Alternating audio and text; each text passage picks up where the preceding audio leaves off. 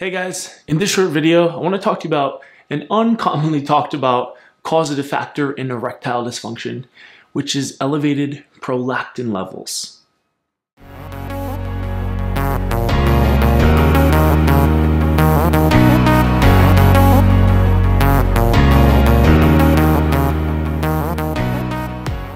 According to statistics, over 50% of men are experiencing some form of erectile dysfunction. And if you're over the age of 40, those numbers go up to 70%. And with a large portion of our viewership falling in this age range, it's no wonder that erectile dysfunction is such a popular topic for our channel. And we talk a lot about it here on the channel. We have a couple of different videos and we dive into all sorts of different causative factors and natural things you can do to start correcting the issue. But one of the things I haven't touched on just yet, which is likely a sole contributing factor, if not the number one cause of erectile dysfunction, is the correlation between elevated prolactin levels and hypogonadism. So if we take a quick look at this study here that I'll be linking beneath this video so you can dive into it and read all about it, it's been observed that men with erectile dysfunction tend to test for elevated prolactin levels and hypogonadism. And in short, hypogonadism refers to the suboptimal functioning of the gonads or testes. So in endocrinology, hypogonadism is often considered to be the number one cause of erectile dysfunction. It's basically always present in any case of erectile dysfunction for a very simple reason. And the association of elevated prolactin levels comes to me at no surprise given its interference on the function of the whole gonad organ system, if you will. So if you're not aware, basically one of the key factors in having and maintaining a healthy rigid erection is having optimal levels of testosterone. Testosterone has a very profound effect on the whole functioning of the male reproductive system and the sexual organs and it plays a major role not just in the development and functioning of healthy sperm but also the functioning of the gonads and the penis as organs. So typically low levels of testosterone are always implicated in erectile dysfunction. And one of the major contributing factors to the low testosterone is often elevated prolactin. So as I mentioned really briefly, prolactin does a couple of things in regards to its contribution to erectile dysfunction. First and foremost, it can directly contribute to hypogonadism by interfering with the production of gonadotropin hormones. So sex steroids like testosterone that you need to produce an erection and to be fertile as a man. So generally speaking, prolactin suppresses testosterone. It also has many other negative effects. It tends to be elevated with estrogen. So estrogen stimulates the pituitary to secrete prolactin, and both estrogen and prolactin are elevated under stressors of all types.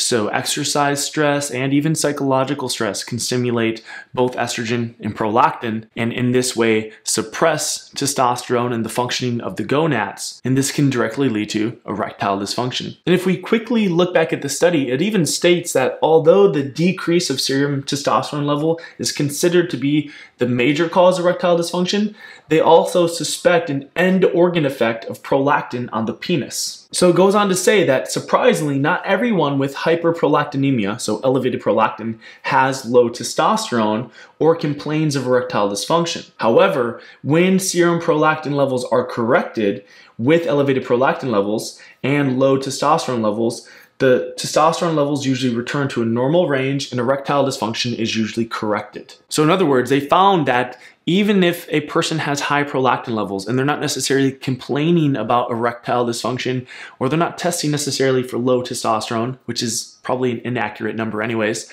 what they found is that just giving this person testosterone does not correct the erectile dysfunction. The erectile dysfunction is only ever corrected or resolved when the high prolactin is fixed, showing that prolactin not only does interfere with the gonadotropin hormones and it will oppose testosterone to some degree, that the elevated prolactin can directly negatively affect the function of the penis. And through my understanding of prolactin's effects in the body, what could be occurring over the long term through chronically elevated levels of prolactin is a certain level of calcification in the small capillaries and vascular system throughout the penis. So prolactin, as I talk about pretty much every time I mention it, it can disrupt or derange calcium metabolism. It can start to soften the bones and the teeth and start to harden the soft tissue. So the capillary, even the smooth muscle in the penis can become rigid. So in summary, Hyperprolactinemia, or chronically elevated levels of prolactin, are always implicated in erectile dysfunction. Even if that person is testing for normal levels of testosterone, there is at least elevated levels of prolactin, which shows us that there's also hypogonadism typically. So even if you're not testing for low testosterone, yet you're experiencing erectile dysfunction, I would highly recommend having your prolactin levels checked. So the takeaway of this video is that if you're a male suffering from erectile dysfunction, and you're testing for normal levels of testosterone and you're doing everything to try to increase circulation or even worse boost nitric oxide and nothing's really working it's likely because the overlooked factor is the elevated prolactin which is something that most doctors will probably never test for or check for in regards to erectile dysfunction or most health conditions unless you ask for it so my piece of advice here would be to start to take proactive steps to lower the prolactin. Remember, it's a stress substance. It rises under stress. It increases in response to estrogen. So if you're male and you drink a lot of beer, very estrogenic. The hops are estrogenic as well as the estradiol from the yeast and the alcohol in general. If you're a male that's consuming tons of grains, polyunsaturated fats, which you'll find in your typical processed junk foods, eating a lot of bread, pasta, etc., and you're dealing with erectile dysfunction, all these things are going to contribute to increased levels of estrogen, and that estrogen will stimulate prolactin. So for practical tips, we have a couple of different videos here on the channel as to how to lower prolactin. Definitely watch these other videos that you'll find here, but a couple of really good tips for lowering prolactin. First and foremost, you're going to want to take proactive steps to lower estrogen. So also be sure to watch our other videos on how to lower estrogen. In addition to that, some of the best antagonists to prolactin levels are going to be first and foremost dopamine. Dopamine is the natural regulator of prolactin. So typically if you have a dopamine deficiency, prolactin levels will rise. So in addition to watching the videos on how to lower prolactin, you know, taking herbs like black ant for the zinc and KSM 66 ashwagandha, as we recently talked about, uh, taking proactive steps to lower estrogen, the anti estrogen herbs, and removing the estrogens from your diet and life.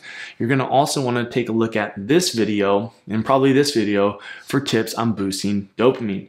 Anything that increases dopamine will naturally regulate and oppose excess levels of prolactin from being produced. But other tips for lowering prolactin outside of all of those videos, which are fantastic resources, some very simple things, two very powerful, simple things. First and foremost, sunlight. Get as much sunlight as you can. It's one of the best antagonists or inhibitors to prolactin. Number two, you're gonna wanna make sure you get enough dietary calcium, which is something that many people don't get enough today because of bad science around calcium.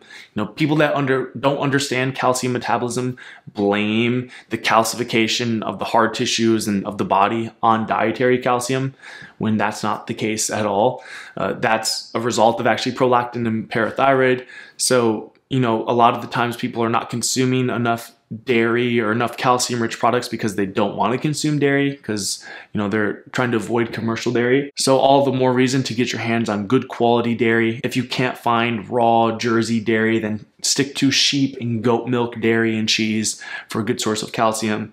Otherwise you're going to have to consume eggshell calcium or powder or cook a lot of leafy greens and hope that you don't get digestive upset. So there you have it. One overlooked cause of erectile dysfunction. If again you're a guy dealing with erectile dysfunction and nothing to this point necessarily working, here's one more angle to come at from. Again, it's basically the number one cause of erectile dysfunction hyperprolactinemia associated with the hypogonadism. So if you can successfully bring down your prolactin levels, you'll probably experience almost immediate relief. Otherwise, that does bring this video to a close. If you've enjoyed it, be sure to give it a thumbs up. Subscribe to the YouTube channel if you haven't yet already. Be sure to share this video with anybody that is in need and that could find this information useful.